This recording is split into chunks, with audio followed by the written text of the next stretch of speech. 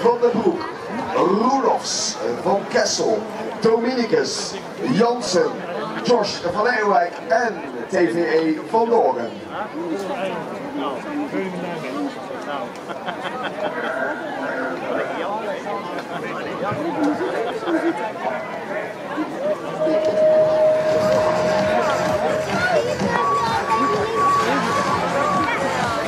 De power gaat erop hier. Oh,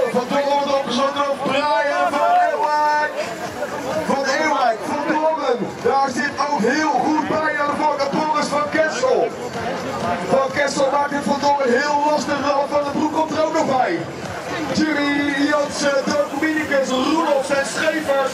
Zo gaat het opwacht over de baan. Maar Brian van Ewijk, George Bienix gaat hier de winst pakken. Van Dongen 2, Van Kessel 3, Van den Broek en Roelofs strijdt daar nog. Samen met Jimmy Jansen natuurlijk en Marco Dominicus.